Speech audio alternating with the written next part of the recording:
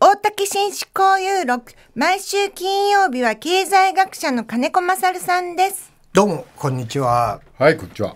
えー今日はねちょっといろいろ喋りたいこと山ほどあるんですが、はい。規制法の改正とかこと、子育て支援金とかね、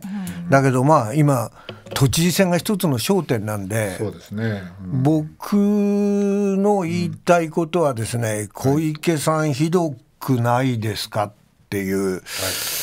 こう今日のテーマはね。そうですか。一つは後出しじゃんけんを続けてんじゃないですか。前回もなんか6日前みたいなそうそうそうそう。ことでしたね。だからはい。公約で勝負する気がないんだよ。公約言わでない。絶対あれだよ、ギリギリで出るって言えば、そしたらなんか公平性っていうことで矛盾つかれないじゃん。そうね。だけど手だよ。まずはあの今の計算としては自民党との連携、まあはっきり言えば萩生田さんとの連携がちょっとばあの、バレてそれが問題にならないようにできるだけ間際にしちゃいたい。からもう一つは、蓮舫さんが公約を出したら、そのパクっちゃう。あそれ毎回やる。自民党毎回やって毎回やることだよ。そうそうそう。で公約は、あの気の毒だけど、小池さんのやってるこ公約は、まあちょっと嘘をつつくのが得意すぎる。ちょっとなんでかっていうと、7つのゼロとかはい。12のゼロとかみんな嘘で、介護難民ゼロとかさ、全然実現してないで、それから例えばつ築地の移転反対なんていうのもそみんなれだけど嘘だったし。あれなんだよ。だからギリギリでポ出るっていうふうに言えば公平性担保っていうことでみんなそのマニフェスト今までの矛盾とかつけなくなるからそれ狙いだよね。そうそうそう。で、問題は、これがね、僕はそれでもにもかかわらず、都知事選ははい2つの意味で前哨戦だと思う。何の前哨戦ですか？一つは、あの衆議院三あの、はい。3つの補選以来、はい。自民党はずーっと連敗をしてるわけです。負け続けてますね。そう、ん。で八王子市長選で味を占めて小池さんと萩生田さん、まあ、はっきり言うとあの裏金と学歴詐称疑惑の連合が、その八王子市長選で勝っちゃってから、こうまあ、その前に江東区長選とか、あの目黒の都議補選とか、たくさんそういう形で、その自民党との連携を見せちゃって、で東京15区で乙武さんを、その同じようなパターンで押し込、あ入れようとしたら、どうも反発がすごく強くなっちゃって、はい。で光栄ですって乙武さんが言ったんだけど、自民党が支持してくれたんでね、ところがもう途中でやめざるを得なくなったっていう、こういう状態の中で決着をつけると。はい。いう意味で、選選挙戦のいわば政権交代の前哨戦になる。もし都知事選だった。ら、はいはいはい。もう一つは、蓮舫はあの事業仕分けって言ってるんだけど、僕は前の事業仕分けっていうのは、財務省の御用達を調達してるんで、うまくい良くないとは思うんだけど、はいはい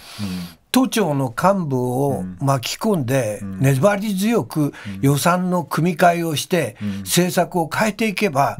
要するに次のせ政権交代を実現する時の一つのモデルになってくる。なるほど。ああ、そうだわ。だから予算の組み替えが非常に重要なポイントになってくる、その時に2つの問題があって、一つは大型開発、マンション開発、はい。これをどうするか、もう一つは女性、子育て、教育っていうところに本気でお金を注ぐかどうか、この2つが僕は焦点だと思ってるんですわ。でその時の一丁目一番地、つまり本丸のあの目玉は大型開発の是非なんですよ。はい。でそれは何でかっていうと、あの自民党となんでくっつくかっていうことと一つは本質的に非常に似た、その後でも言いますが、神宮前の、神宮のあの、伐採の問題ある、あれも大型開発ですね。大型開発、それから築地の再開発も大型開発、それから実は、晴海の選手村、東京オリンピックの、あれも大型開発だった、都有地だったの。はい。で実はこの3つに共通してるのは、三井不動産なの。ねおお。で、みんな嘘なんですよ。築地移転反対だったのが、食の文化とか言いながら、実は球場と、それから国際会議場中心の IR で、ここが目玉なんですよ。だから全く違う大型開発、三井不動産。で、三井不動産は実は東京ドームも経営してるわけ。はい。はい、で、ここで巨人の、あの球場を作るっていうようなやり方をして全く違う。それから晴海は、そのどういうことが起きるか、晴海フラッグっていうのは今、記事にもなってきましたけど、法人所有のものが多くて、都が作ったあの高級マンションで、一般の都民は住んでなくて、登記の目的になってると。で、問題は、この都政版森友問題が、この晴海なんですよ。都有地の9割値引きをしてるんですよ。で、しかも、あの、これは赤旗の、とそれから東京民報かな、のあの記事なんで、私が調べたわけじゃないけど、それによれば、その晴海の都市開発の関連10社に都庁の OB が22名天下ってるんです。もうもろ権力の私物化じゃん。それから三井三井不動産関連に9名天下ってるんですよ。だからこれはなんで9割も値引きしてね、東京オリンピックにかこつけてね、うん、それでなんでそこに天下ってるのかっていうことを徹底的に追及しなきゃいけない問題なんですわ。なるほど。ところが大手のメディアはこれを黙殺してるんですよ。うん、あそう。だから本気でちゃんとしたジャーナリストがこれをあの暴露してやっていくことがとっても大事になって、そのある意味で裏金暴露暴露したのは赤旗だったわけですけど、うんはい、上脇さんっていう学者さんがもう徹底的に調べて本格的な問題にしちゃったわけでしょ、うん、同じようにどう見てもおかしいんで、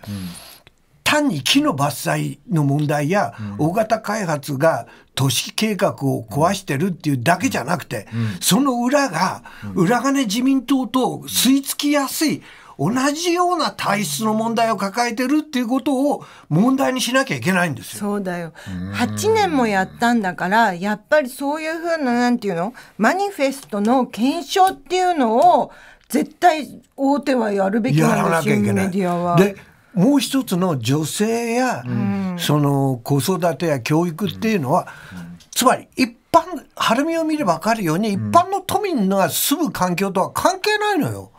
開発再開発してもみんな最上階は中国人だったり、あるいは会社所有の投機目的だったりする、そういうマンションを開発党が開発して何の都市開発なのか、しかも森林を伐採してると、それだったら今出生率が東京はついに1を割ったと、それは小池さんのある意味でかっこつきの成果なわけだ。だとしたら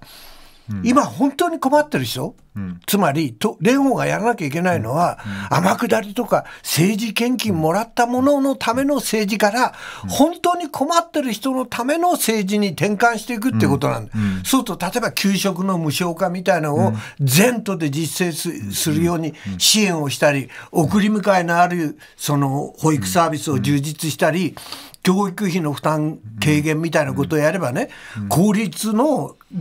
あの高校つまり都立の高校は全部無償にして、私学の分はその分だけ軽減してあげればいいんですよ。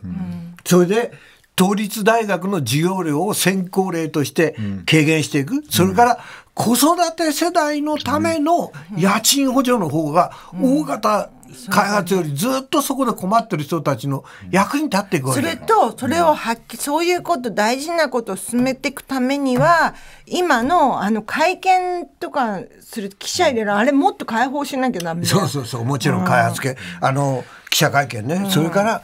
あの木を伐採するのに対して森林税やいろんなものが入ってくるんだから、その都心ではマンションそれから中郊外だったら一戸建てで食事を、木を植える、そうしどんどん補助する。が太陽光のその屋根置きの補助金を小池さんの倍出す、それから自自転車道をしっかり整備してその商店会で自転車置き場をやって買い物できるようにするとか、そういう人が住みやすい環境のいい、そういう街づくりみたいなものをスローガンあとして30くらい若かったら都知事に出てほしかったわ、つがさだおっしゃってることはうんわかるんだけど、じゃあ逆にお聞きするけど、まあ、蓮舫がそこまで、まあ、リベラルのね真ん中にいてそれができるのかっていうのともう一つ外苑のさ開発もここまでこう、まあ、手はついてないけどここまで来ちゃってるわけじゃない。それをまあ蓮舫さんはここまで来たらやっぱり変えようとしなくちゃダメじゃない。そうだかそれらがで実際に今今どこまで進んでるか知らんけどそれができるのかっていう問題はだからあの小池さんの結果、これだけ伐採があると、これをどこまで食い止められるかっていうことを勝負するしかないでしょ現実には。現実的にはね。だ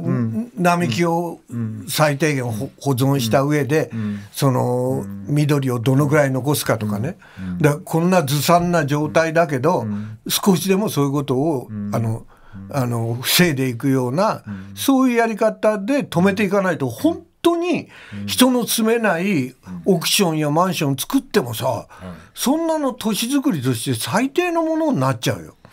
で結局、不動産会社やゼネコンと一体化するような、そういう都政をやっていこうとして、それでまあね学歴訴訟問題を二階さんがこの食い止めてね、自民党がそういう追及をやめたっていうような、あの週刊誌の記事記事なんかではいろいろ言われてすでに疑惑の問題はあるわけでそれもちゃんと答えなきゃいけないけど、もう一つ今ここでみんなが住める街っていうのを、その本当に困ってる女性のために財源を捻出してそっちへお金をどんどん出していきましょうね。っていうのを見本として見せていくことによって多くの国民が政権交代したら何が起きるかっていうことをイメージすることができるんだと思う。あの東京都はね他の県と違ってもうあの潤うほどの財源を持ってるわけだから。9兆円ぐらいのね予算があるから、その財源をどういうふうにちゃんと使うのかっていうことをねあのえやんなくちゃダメだよね。そうですよね、それをビジョン出して、その間際になるかもしれないけど、それで、あの出して打って出るって、それでみんなにあの選択を求めていくっていうことが大事だなというふうに思ってます。はい。あありがとうございました。金子勝さんでした。大竹紳士交友録、来週月曜日は古谷恒平さんの登場です。